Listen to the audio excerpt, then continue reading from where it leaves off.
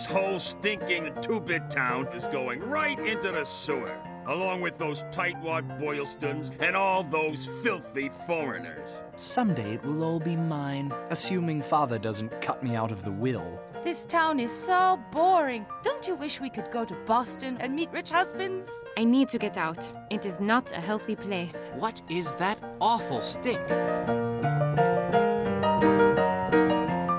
Two fine publications as usual. Got the Courier Dispatch for you high class business gentlemen.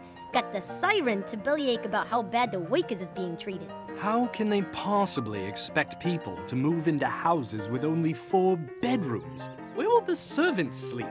Those diabolical mill owners, if they could figure out a way to make dead people work, they'd tear up the graveyards. There's a lot of socialist agitation going on, stirring up trouble amongst the workers. If we worked at the mill, Andrea might get his head stuck in the machine. These evil men cannot be trusted. There must be a strike. Everyone must refuse to work at the mill.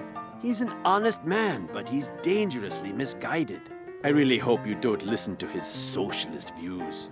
I can boost your profits by 25%. Give up a little now for more riches around the corner. That guy who runs the opera house, Lefkowitz, he's one of them foreigners. Can't be trusted. You dare threaten me? I can take it. But this time, we're going to fight back. With Southern competition nipping at our heels, I don't see how we can afford to give them any more money right now.